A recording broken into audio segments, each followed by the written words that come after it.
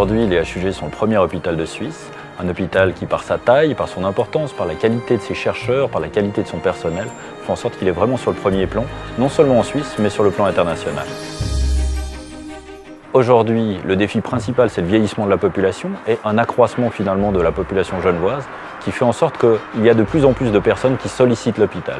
Notre défi majeur, c'est de préserver une qualité des soins qui soit optimale dans un contexte où les ressources sont pas toujours faciles à trouver et où nous voulons vraiment rester à la pointe du progrès en matière de médecine en Europe.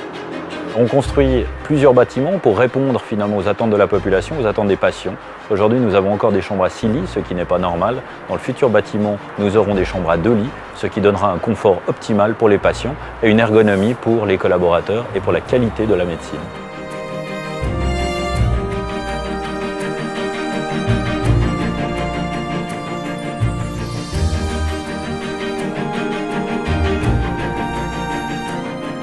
Nous avons à peu près six équipes, une centaine de personnes qui travaillent quasiment tous les jours sur ce bâtiment. Les équipes de soins qui sont chargées de définir la structure, les équipements des nouvelles euh, unités de soins, les spécialistes en bloc opératoire, euh, que ce soit les chirurgiens, les anesthésistes, les instrumentistes qui définissent les nouvelles structures de bloc opératoire, toute la logistique qui, elle, va travailler sur la gestion des flux, les flux des visiteurs, les flux des patients, les flux de la livraison des marchandises et des équipements pour les différentes unités.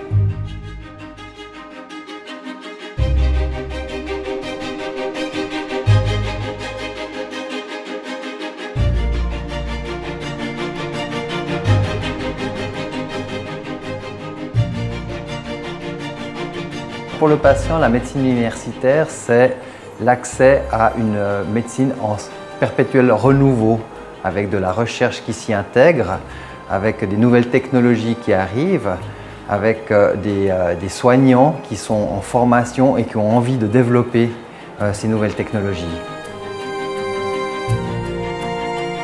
La communication entre les nouveaux blocs opératoires et les blocs actuels sera ouverte et puis ça sera finalement plus qu'un seul site communiquant avec les salles de réveil, avec le plateau technique.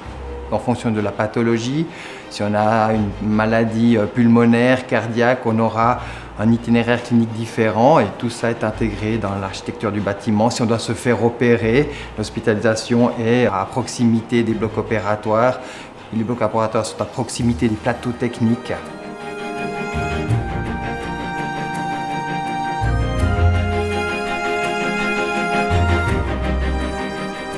On va créer six salles d'opération supplémentaires qui vont nous permettre d'abord d'adapter le programme, donc de prendre en charge les patients de manière plus rapide, moins de délai d'attente, donc une amélioration pour la prise en charge du patient à terme, et également d'introduire des nouvelles technologies comme des salles robotisées, donc ça va vraiment faciliter la vie. Pour bien comprendre, le bâtiment des lits 2, c'est en fait deux bâtiments. C'est un bâtiment limisocle qui, qui permet d'avoir des interpénétrations sur l'existant. Puis ensuite, de l'étage 2 à 8, ce sont les unités de soins. Donc vous avez pour chaque étage une définition de la circulation. Donc au niveau R, vous avez tout ce qui concerne l'exploitation. Tout ce qui est au niveau P, ben, c'est l'extension du plateau technique, donc qui sera intramuros, si on va dire. Au niveau 0, tout ce qui est transfert des lits patients. Et quand vous êtes au premier, là où nous nous trouvons maintenant, c'est tout l'accès public et utilisateur d'un bâtiment à l'autre qui sera garanti. Donc chaque étage a sa propre fonction et garantit un transfert des activités sans devoir passer par l'extérieur ou sans le faire de détour. Lorsqu'on est sur l'esplanade, on rentre, on prend un escalator et en montant cet escalator, on se retrouve de façon continue sur la toiture du bâtiment Opéra.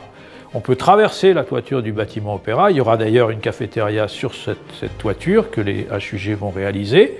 Et ensuite, on, on continue et on reprend toute la galerie qui distribue l'ensemble des autres bâtiments et des autres services. Et on peut ressortir évidemment par l'entrée actuelle qui restera toujours en activité.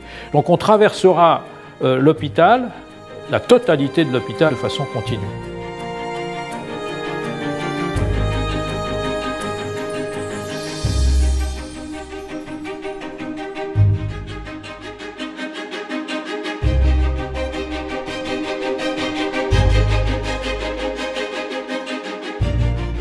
Prise en charge du patient dans le nouveau bâtiment sera identique à celle qui est actuellement euh, faite.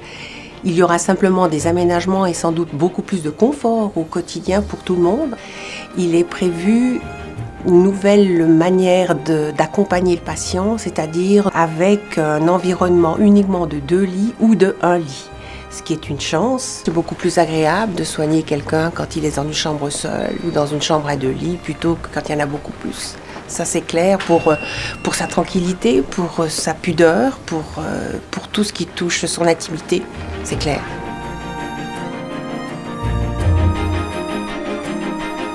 Bien sûr, on ne va pas seulement s'arrêter à ce bâtiment d'Eli, on doit entamer bientôt la quatrième et dernière étape de la rénovation de la maternité.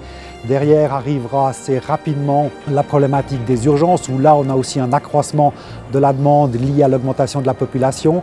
Donc il faudra à un moment donné qu'on agrandisse ces urgences. Ce quartier de l'hôpital est en mouvance permanente, il, évolue chaque jour. Il faut savoir que tous les six mois pratiquement, on, on peut fermer ou ouvrir une unité de soins. Donc c'est vraiment un secteur qui est tout le temps en mouvance et qui évolue et qui ne cessera d'évoluer en fait euh, toutes ces prochaines années. Notre défi, c'est de rester les meilleurs possibles, tant par rapport à la concurrence que par rapport au reste de l'Europe, pour rester un hôpital de référence pour le Grand Genève, pour rester l'hôpital de référence pour les patients, pour l'ensemble des jeunes voix et des jeunes voix, et que les professionnels qui y travaillent s'y sentent très bien.